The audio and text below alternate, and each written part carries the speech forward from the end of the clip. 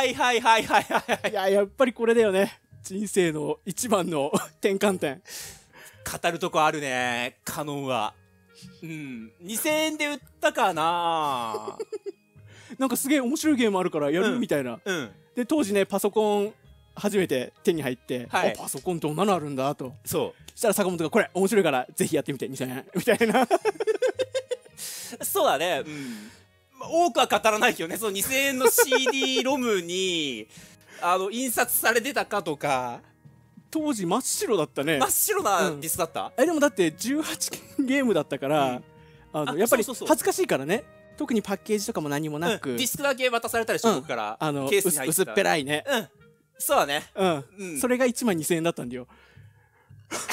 え僕からのプライスがね。そうそうねそうね、うんでもフルプライスは1万円するからね。安いね。安い5分の1の価格だから5ね分の1すごい、そうだね。ディスクに何の印刷もされてないとしてもね。ただしただしね。ううん。それはね。いや本物のディスクですよ。そうだよね。間違いなく本物のディスクですちゃんとプラスチック間違いなく。これはもう涙腺ゆるゆるの滝のようにダー泣くから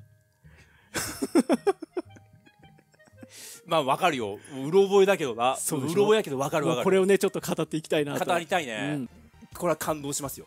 どうどういうこと感動する？のえナイキはね、うん。あのー一緒に住んでいる幼なじみの、はい。あの雄一が同居しているんだよね、はいはいはいはい。ナイキの家。そうだね。であのまあつかず離れずみたいな感じなのさ。はいもう好き好きじゃないうん、か、そしたらあのその家にいるアキコさんっていう、ナイキのお母親が、うんあるダンプカーにぶつかるんだよ。あれちょっと待って。あのさぶつかるまでの道中どこ行った？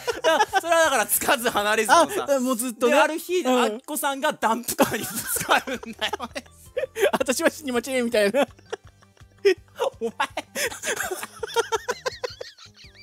ごめんごめんこれはこれはもう自分の頭の中。真面目に話してるからさ、うん。でさんがダンプカーにぶつかったけど、うん。でその重傷なのさ。渋滞でも入院して。うそしたらもうナイキがもうすっごい鬱になってしまって塞ぎ込んで、うん。部屋から出てこない。あらで雄一はもうどうする？どうする？俺には何もできないのか。そう声かけてもね何も返事してくれない俺にはナイキを同行することもアキコさんを同行することもできないどうする？どうこうすることって何？どうする？どうするって言ってたら、うん。あのある日夢を見たんだね。その雄一が。夢見ちゃったんだ。でそこであゆが出てきて、うん。願いを叶えてあげるって言ってあゆが去っていく。おおでそしたら次の日寛解してるんだよね。あきこさんが。あ違う。なゆきが。どっちも。どっちもなの どっちも奇跡が起こって治るんだよ。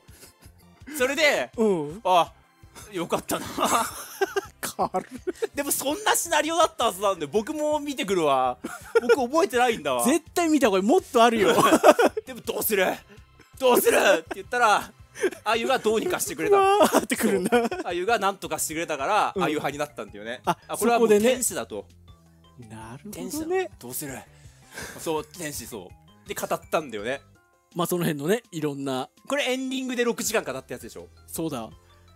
あなた何？なんだっけ？エンディングの話。エンディング覚えてる？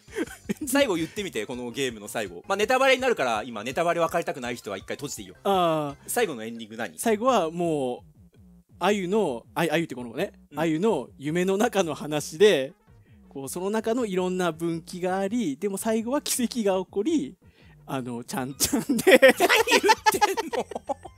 あゆがあそう昔あゆがうん交通事故交通事故じゃない。事故木から落ちて 意識不明の重体になありそんな感じだったわ、うん。それは合ってるわ。でその入院中に起きたこの夢がこのカノンの話の中。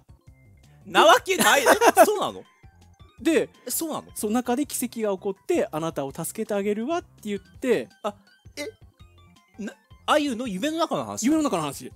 それ本当？間違いない間違いない。えじゃあ雄一って夢の人物なの？その通り。えじゃああゆが目覚めたら雄一の存在とかしおりのカウントダウンとか消えるの？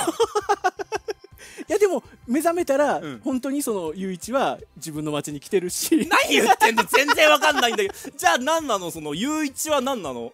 どこのゆういちなのそれは、ゆういちはうん。ゆういちはゆういちだよ。何を言ってんだお前は。本当にカモンやったのか。いやもうだって大昔の話だかうん。ら何を言ってんのか全然わかんない。夢の中のゆういちがとか言ってバカじゃないの。何夢の中のゆういちは現実のゆういちですとかその辺にゆういちはいてとか何磯野君のカツオ君の長澤君みたいなことずっと言ってるだけでしょあなた。だから夢と現実はこう、リンクしててはい。ね。で夢にから覚めたらえ神なの？あゆは。え何でも願いを叶えられる神なの？あそれだけじゃない。今思えばそういうことなのかな、何言ってるの？本当に。目覚めた方がいいよいろいろと。俺が。本筋合ってるんだって。へえ。あほらやっ本筋合ってんだ。たあれ坂本の解釈は？最後。最後？最後のね。これ？うん。これだから神通力みたいなの持ってたでしょあゆが。でふわーって言って自分の命と引き換えに 奇跡を起こした。だから死んじゃうんだよその後。病院で寝てるのは確かにその通りかも。なるほどなるほどね。思念体みたいなのを街に飛ばしてたんだよね。で思念体のエネルギーを回収するためにはたい焼きっていう糖分が必要なんだよ。だからたい焼き盗み食いしてたんだよ。なるほど。その思念体を生かすために。ほうほうほうほう。たい焼き食えなかったらあの存在は消えるんだよ。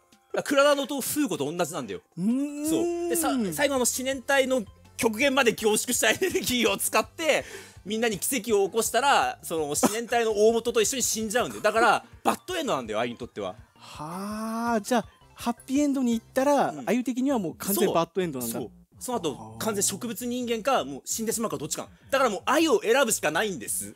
なるほどね、じゃあそこで俺はしおりを選んだ時点で、カウントダウン TV が始まったけど、うん。あゆ的にはエンディングなんだ。サビオじゃないの？と思ってるんだよねしおりは。そもそも。サビ。だからかっこいい男に近づくために、うん。こう病気を自称していった。僕がしおりならそうするよ、うん、条件分付きで付き合えるでしょだからあそうだよね。優しくしてくれるしね。置いてきぼり？ごめんね。そう。あずっと語っちゃうんだよね。もう終わるからね。もう一回やってみようよ。じゃないと話わかんなくなるわ。うんごめんな。続くんかい。まだ今度にしよう。まだ今度にしよう。もう怪しい文章いっぱいあるしまだ今度にするわ。ごめんな。もう1時間半やってるから